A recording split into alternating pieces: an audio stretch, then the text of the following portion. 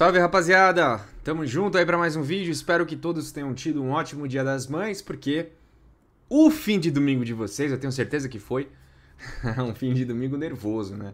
O meu foi, cara, porque vou te falar a real, bicho. Acho que dos roteiros de resultados ruins, o roteiro que eu mais odeio é esse que o Palmeiras fez hoje. Que é o seguinte, você sai vencendo o jogo dentro de casa e no finalzinho do jogo você toma um empate. Eu acho que esse roteiro, é, para mim, é pior do que perder. Papo reto, rapaziada. Eu odeio esse cenário. E é um cenário que o Palmeiras adora fazer com a gente, né? Então, esse resultado me deixa louco. Ainda mais porque hoje o Palmeiras tinha uma ótima chance de abrir pontuação é, de distância para o Flamengo e passar o Atlético, né? Porque uma vitória nos colocaria com oito pontos, igual ao Galo, mas a gente passaria pelo saldo de gols. Ou seja, a gente estaria à frente de dois dos melhores times aí do campeonato, encostaria no Corinthians, que tá jogando. Até onde eu vi, tava 0 a 0 no jogo difícil contra o Red Bull fora de casa. Era uma ótima oportunidade pro Palmeiras se colocar na briga e recuperar no Brasileirão. Infelizmente, a gente não soube aproveitar. Pegamos o Fluminense, um time que nunca tinha sequer empatado com a gente no Allianz, e hoje conseguiu empatar.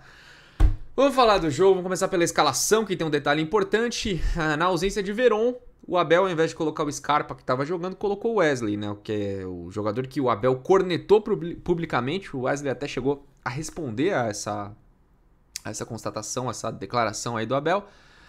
E o Abel resolveu dar chance pro Wesley, né? Pô, vai jogar, bicho. Você quer jogar? Vamos jogar. Só que aí eu acho também que agora essa, essa oportunidade tem que ser uma, um aviso final, né? De dizer, pô, você não tá bem, eu te dei mais uma chance, você não foi bem. Olha que o Palmeiras atacou bastante pela esquerda, né? O Piquerez cortando para dentro, o Piqueires várias vezes centralizando para abrir o espaço ali na ponta e o Wesley mesmo assim não conseguiu aparecer. Muito nervoso no jogo, errou tudo que tentou. Eu espero que agora o Abel, depois dessas últimas oportunidades, coloque o Giovani para jogar, né? Pô, Wesley, te deu oportunidade, não rolou, você não tá bem, é, outros caras vão passar na sua frente. É assim, cara, a vida é assim.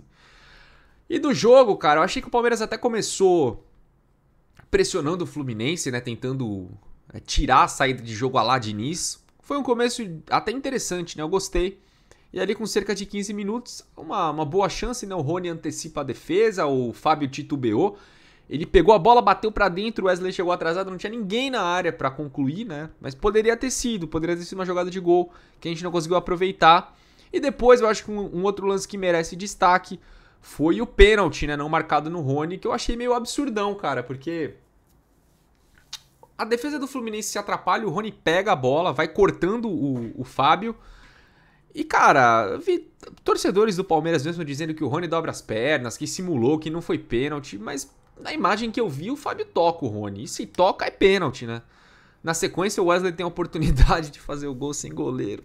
Bem que a marcação tava chegando, mas, cara, daria para fazer algo melhor do que bater para fora, né? Essa é a verdade. Só que eu achei que foi pênalti sim, bicho. Eu achei que foi pênalti. Não acho que. Ah, porque o juiz não deu esse pênalti que a gente empatou. Porque depois a gente saiu na frente. No segundo tempo a gente saiu vencendo e não conseguiu segurar. Então se tivesse feito o gol de pênalti, poderia ter dado vacilo lá atrás e poderia ter sofrido empate também. Então não tem como dizer que o juiz atrapalhou. O juiz para mim atrapalhou o jogo no andamento. Foi um jogo extremamente chato de assistir. O jogo foi o puro creme do futebol brasileiro. jogador fazendo cera, falta não marcada, inversão de falta, juizada perdida.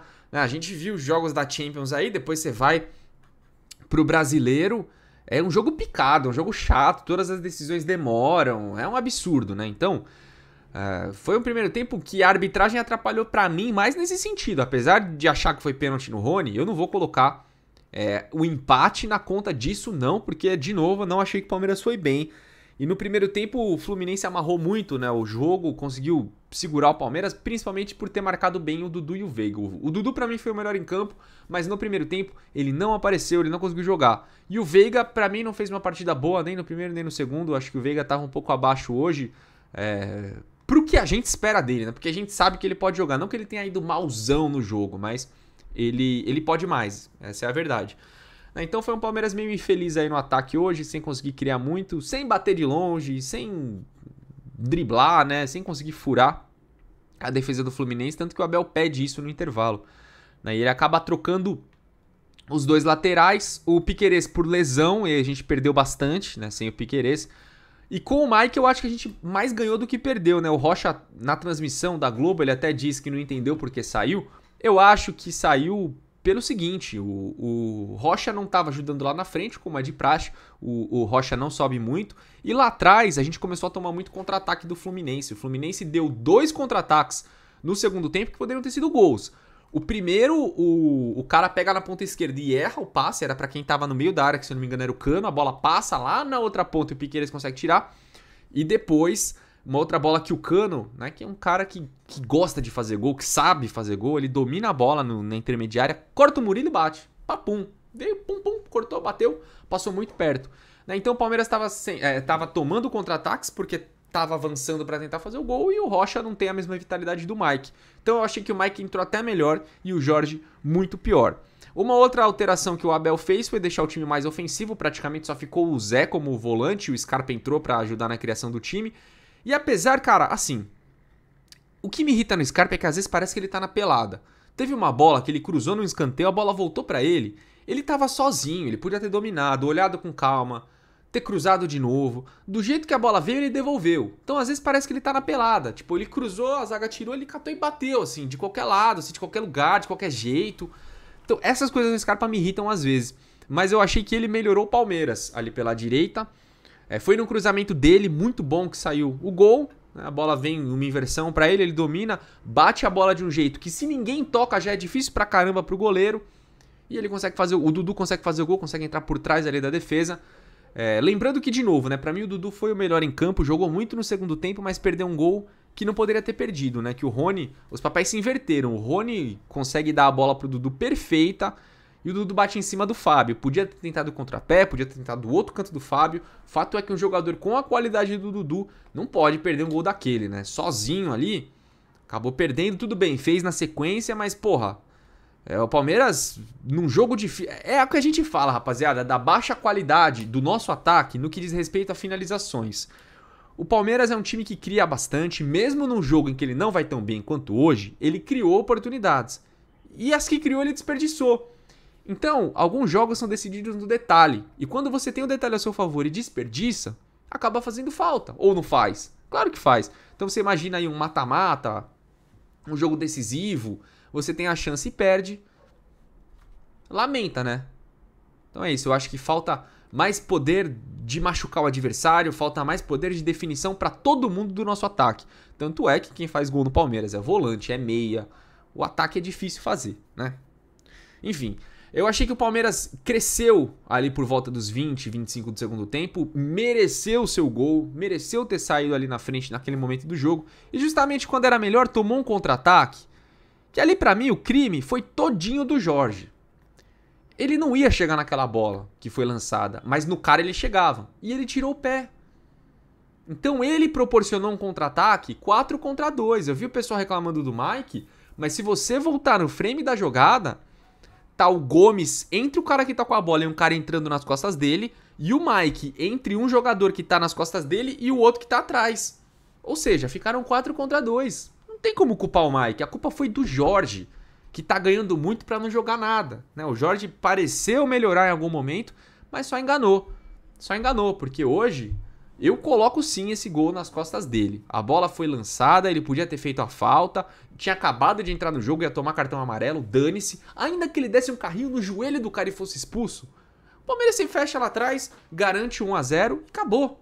Né? Não foi o que a gente fez, infelizmente. O Jorge deixou passar a gente tomou um empate, desperdiçou pontos novamente. Perdemos a oportunidade de entrar lá no Bololô e se manter na briga pelo título, né? Tudo bem que a gente hoje não tá tão distante. Tem que ver como vai acabar o Corinthians e Bragantino, tem que ver o jogo do Santos também. Talvez a gente não fique tão distante. Mas é muito ruim deixar esses pontos pelo caminho, porque não era para ter perdido pro Ceará em casa, não era para ter perdido pro Goiás, não era para ter empatado hoje. E é nesses detalhes aí que o Campeonato Brasileiro vai embora. Então a gente tá falando já aqui há um tempão e o pessoal fica, ah, mas é começo de campeonato, ah, mas não sei o que, ah, mas não sei o que lá. Depois lá na frente, são esses jogos aí que a gente vai lembrar, são esses jogos que a gente vai falar. Então quando a gente é, comenta alguma coisa que não tá muito legal, não é porque a gente é corneta não, viu?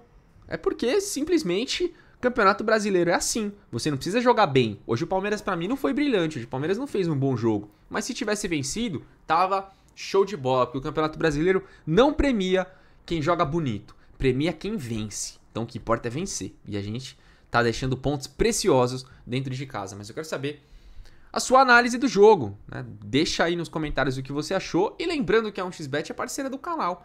Passa no link da descrição, você vai ganhar o dobro de créditos na sua primeira recarga. É só usar o cupom ALVIVERDE para apostar nos jogos da Copa do Brasil, do Brasileiro, da Champions League, da Premier League, do que você quiser, meu amigo. Então, clica aí e vai ser feliz na 1xBet. Valeu?